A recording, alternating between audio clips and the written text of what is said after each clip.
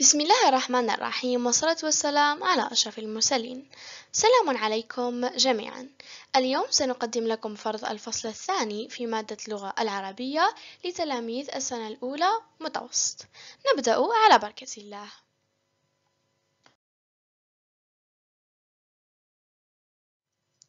أولا لدينا السند. نقرأ. أبو بكر الصديق رضي الله عنه رجلا زاهدا شديد التواضع ذا رأي سديد وحكمة بالغة ما سجد لصنم قط بل كان ممن يلتمسون كبد الحقيقة في ضروب هذا الكون الفسيح ينشدها ويتبع أثرها أينما وجدت. وكان يحب الله ورسوله حتى أنه أنفق كل ماله في سبيل الله تعالى. ولم تنازعه نفسه يوما إلى أمر الملك أبدا. ومع هذا فقد آلت إليه خلافة المسلمين بعد النبي صلى الله عليه وسلم بعدما رأى عمر يوم السقيفة حين اجتمع المسلمون لتولية خليفة عليهم بأن أبو بكر هو أحق الصحابة بها لأن النبي أمره أن يؤم المسلمين في صلاتهم لما كان مريضا. واتفق المهاجرون والأنصار على أبي بكر خليفة لهم. حتى إذا ما بايعه الناس وأقروا به وقف بهم خطيبا فقال أما بعد أيها الناس فإني قد وليت عليكم ولست بخيركم فإن أحسنت فأعينوني وإن أخطأت فقوموني. ولا تأخذكم في الله لومة لائم إلا أن الضعيف فيكم قوي عندنا حتى نأخذ له بحقه والقوي فيكم ضعيف عندنا حتى نأخذ الحق منه طائعا أو كارها. أطيعوني ما أطعت الله فيكم فإن عصيته فلا طاعة لي عليكم. هذا كان السند. نذهب الآن إلى الأسئلة. أفهم نصي الأسئلة. هات فكرة عامة مناسبة للسند. ثانيا استخرج من النص صفتين خلقيتين من صفات أبي بكر الصديق. يعني زوج صفات جيدة لأبو أبو بكر الصديق أو أبي بكر الصديق. ثالثا لماذا كان أبو بكر الصديق أحق الصحابة بالخلافة؟ ورابعا القوة لصاحب الحق في مجتمع المسلمين. استخرج من النص ما يدل على هذه العبارة. خامسا اشرح المفردتين التاليتين آلت ولائم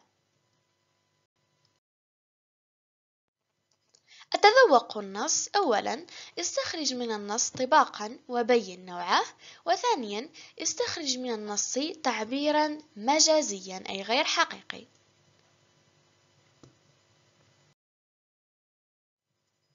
أتعلم قواعد لغتي. واحد أعرب ما تحته خط في السند إعرابا تاما. راح نعربوا الكلمات اللي تحتها خط في السند.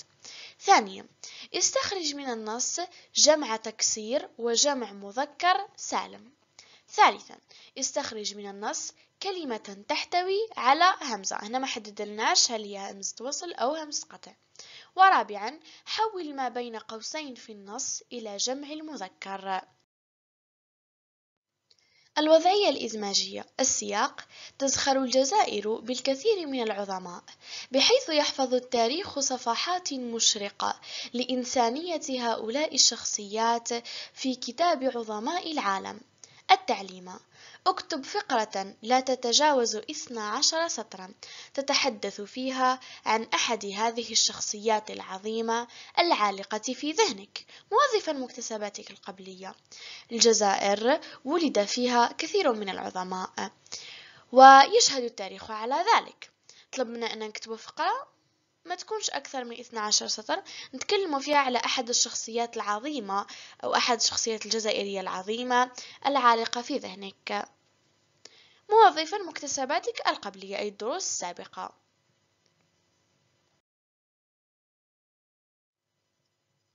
الآن ننتقل لجزء الإجابة.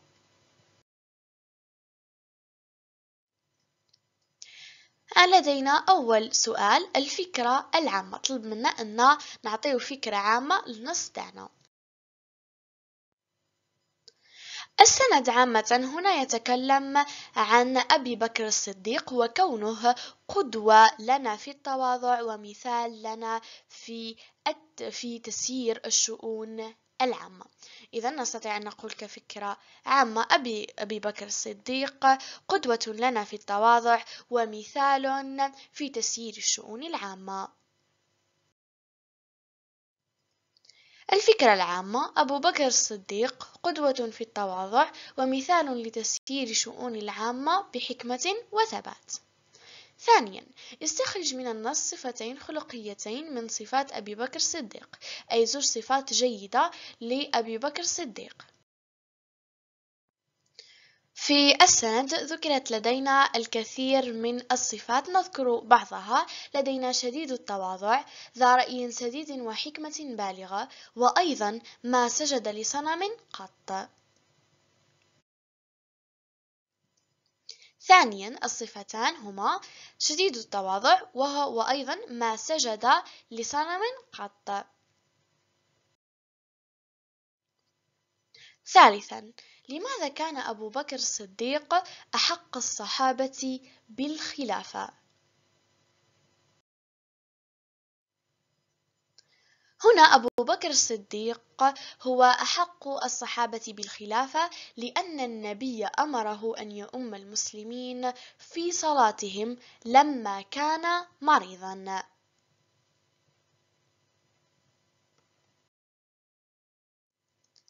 ثالثا لدينا آه، أبو بكر الصديق أحق بالخلافة لأن النبي أمره بأن يؤم المسلمين أن يكون إمام للمسلمين في صلاتهم لما كان مريضا عندما كان الرسول صلى الله عليه وسلم مريض. ورابعا القوة لصاحب الحق في مجتمع المسلمين. استخرج من النص ما يدل على هذه العبارة.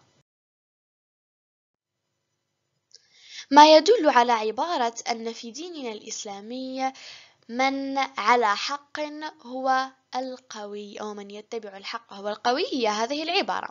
إلا أن الضعيف فيكم قوي عندنا حتى نأخذ له بحقه. والقوي فيكم ضعيف عندنا حتى نأخذ الحق منه طائعا أو كارها. إذا الدليل على آه، أن القوة لصاحب الحق في الإسلام أو في مجتمع المسلمين هو إلا أن الضعيف فيكم قوي عندنا حتى نأخذ له بحقه والقوي فيكم ضعيف عندنا حتى نأخذ الحق منه طائعا أو كارها. خامسا اشرح المفردتين التاليتين لدينا آلة ولائم. إذا أول كلمة وهي آلت. آلت أي بمعنى انتقلت. يعني مثلا نقول بأن الحالة التي آل إليها هذا الشخص ليست جيدة. أي الآلة الحالة التي انتقل إليها أو آل إليها هذا الشخص ليست جيدة. إذا الكلمة الثانية وهي لائم ها هي لائم لومة لائم. لائم أي معاتب أي مثلا نقول في جملة أنا ألوم شخصا ما أي أعاتب شخصا ما. إذا لائم معاتب. لدينا آلت انتقلت ولائم معاتب. الجزء الثاني وهو جزء التذوق نصي. استخرج من النص طباقا وبين نوعه. راح نستخرجه من النص طباق ونبين النوع تاعو نعطي مثال عن الطباق في النص. لدينا القوي والضعيف أو الضعيف والقوي. هذه زوج كلمات عندنا. المعنى نتاعهم ضد أو عبارة عن أضداد. لدينا الطباق في السند القوي ضد الضعيف ونوعه هو أكيد عبارة عن طباق إيجاب. ثانيا استخرج من النص تعبيرا مجازيا. التعبير المجازي في هذا السند هو ممن يلتمسون كبد الحقيقة. هنا هل الحقيقة لها كبد؟ لا. هل نستطيع أن نلمس كبد الحقيقة؟ أنا أكيد لا لأن الحقيقة ليست إنسان ليكون لديها كبد. إذا بل كان ممن يلتمسون كبد الحقيقة أو يلتمسون كبد الحقيقة هو عبارة عن تعبير مجازي. ثانيا التعبير المجازي هو يلتمسون كبد الحقيقة.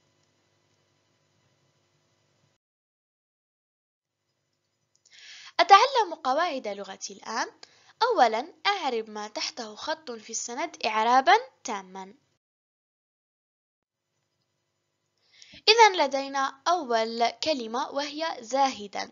رجلا زاهدا.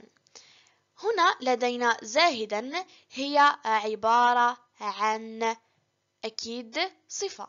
رجلا زاهدا هي عبارة عن صفة. لماذا؟ هنا ممكن في بعض الأحيان يقول لك ممكن آه، يجي واحد يقول لك ممكن هذا يكون حال. هنا لا ليس حال.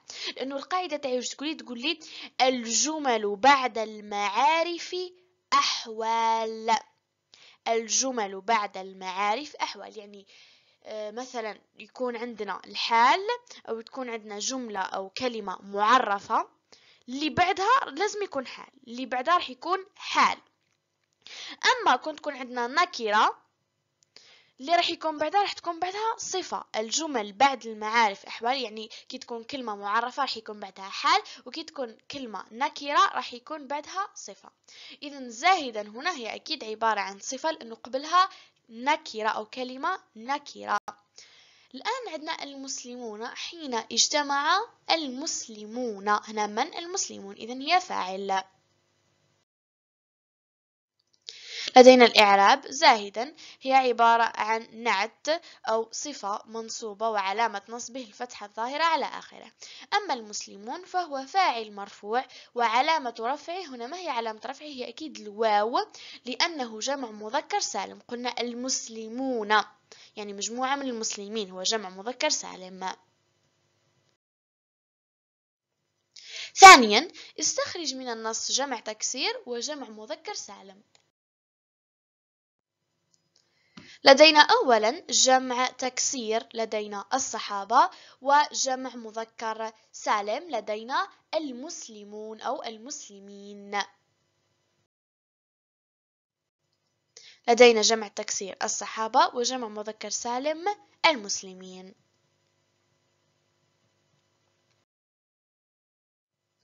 ثالثا استخرج من النص كلمة تحتوي على همزة. هنا ما حددلناش أو ما قالناش سواء همزة قطع أو همزة وصل.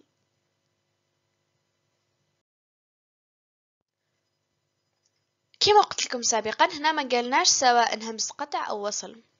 ولكن هنا مثلا عندنا اجتمع و اتفق عندنا حين اجتمع المسلمون واتفق المهاجرون. هنا للزوج هما عبارة عن همزة وصل. كلمة زوج اللي استخرجناها فيهم همزة وصل.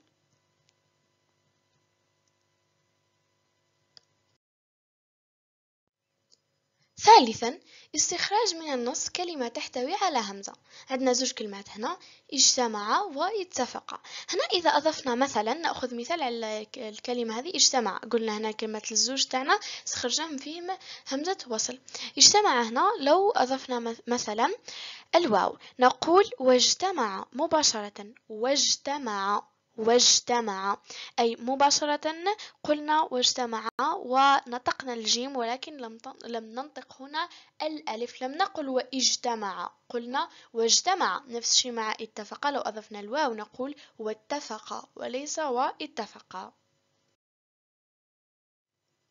رابعا حول ما بين قوسين في النص إلى جمع المذكر. إذا الآن عندنا الجملة تاعنا في النص طلبنا نحولوها إلى جمع المذكر السالم. إذا عندنا هنا الجملة اللي بين قوسين إلا أن الضعيف فيكم قوي عندنا حتى نأخذ له بحقه والقوي فيكم ضعيف عندنا حتى نأخذ الحق منه طائعا أو كارها. إذا وش تولي تولي إلا أن الضعفاء كانت الضعيف يعني أنت الضعيف مثلا. تولي إلا أن الضعفاء فيكم أقوياء عندنا. حتى نأخذ لهم بحقهم والأقوياء فيكم ضعفاء عندنا حتى نأخذ الحق منهم طائعين أو كارهين. إذا التحويل عندنا إلا أن الضعفاء فيكم أقوياء عندنا حتى نأخذ لهم بحقهم. والأقوياء فيكم ضعفاء عندنا حتى نأخذ الحق منهم طائعين أو كارهين. الوضعية الإزماجية.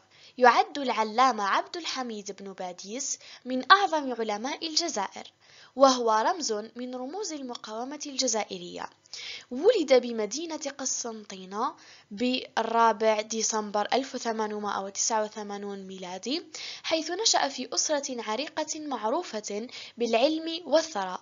حفظ القرآن الكريم ونال شهادة الجامعة واشتغل مدرسا وحث الناس على التمسك بالدين ومتابعة الكفاح ضد الاستعمار الظالم أو الاستعمار الفرنسي الظالم وهو مؤسس جمعية العلماء المسلمين من أجل الإصلاح ولم يتوقف هذا البطل عن نشر العلم حتى اشتد عليه المرض وتوفي في السادس عشر أفريل 1940 ميلادي.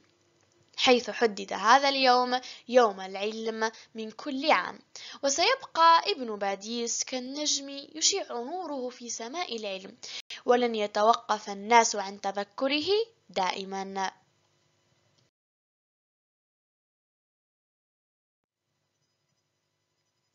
يجب أن ترى قيمة الرجل فيما يقدمه وليس فيما هو قادر على الحصول عليه.